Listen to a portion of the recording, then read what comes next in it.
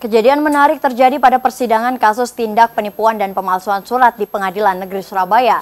Salah seorang saksi pelapor atas nama Edi Tanuwijaya usai memberikan keterangan sebagai saksi pelapor. Dalam sidang dengan terdakwa Hasan Ahmad Santoso terlihat dijemput pihak kepolisian dari Polda Jawa Timur. Penjemputan paksa oleh pihak kepolisian dilakukan karena Edi telah dua kali mangkir saat dipanggil Polda Jawa Timur untuk diperiksa.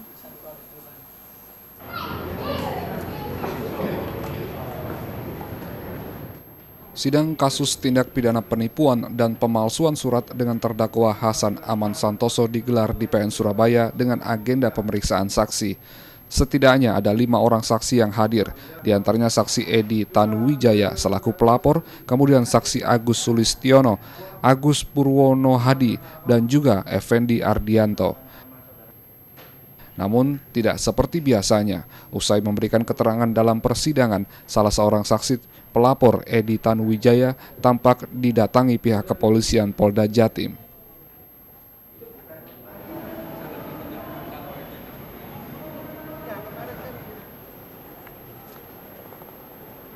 sempat terlihat menolak ketika akan dibawa, namun akhirnya Edi Tanuwijaya pasrah untuk kemudian mau diperiksa dan dibawa oleh tim kepolisian Polda Jatim.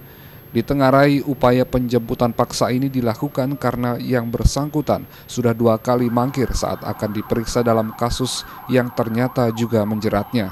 Kasus dugaan tindak pidana penipuan yang dilaporkan gantian oleh Hasan Aman Santoso ke Polda Jatim.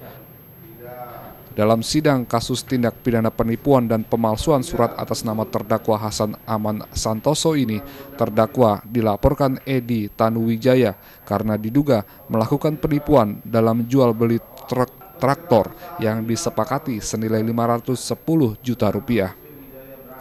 Edi melaporkan terdakwa karena ada lembar cek yang ternyata tak bisa dicairkan.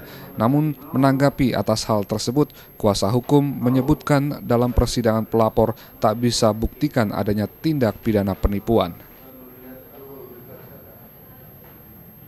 Ya, hari ini sidang pembuktian dari saksi pelapor. Namun yang ingin saya tekankan, pelapor tidak sanggup membuktikan terjadi penipuan.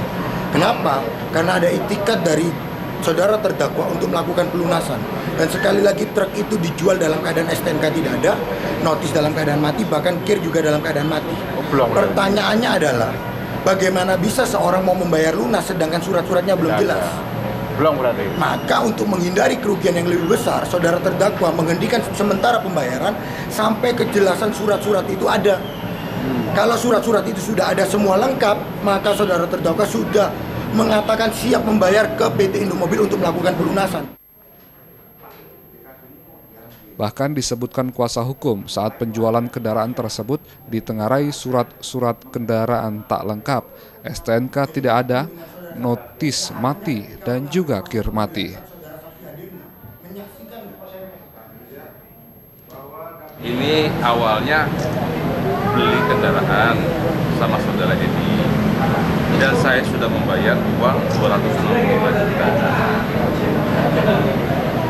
Ya, kendaraan saya bawa, ternyata sampai di kantor saya cek sama orang saya, nggak ada STNK, pajaknya mati, kirnya juga mati. Saya berusaha untuk konfirmasi ke Edi, tapi tidak direspon, tidak ditanggapi. Kemudian saya juga sudah titip omongan dengan Pak Agus sebagai orang yang memperkenalkan saya juga tanggapannya tidak ada. Ya. Intinya saya minta bahwa transaksi ini saya minta uang saya kembali dan terus saya kembalikan. Seperti diketahui, dalam kasus tindak pidana penipuan ini, dua pihak saling melaporkan satu sama lain. Hasan Aman Santoso dilaporkan oleh Edi Tanuwijaya ke Polrestabes Surabaya dalam tindak pidana penipuan dan pemalsuan surat. Sementara Edi Tanuwijaya juga dilaporkan gantian oleh Hasan Aman Santoso ke Polda Jatim dalam tindak pidana penipuan.